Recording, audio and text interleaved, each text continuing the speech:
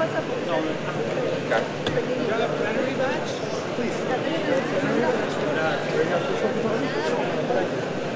Please. you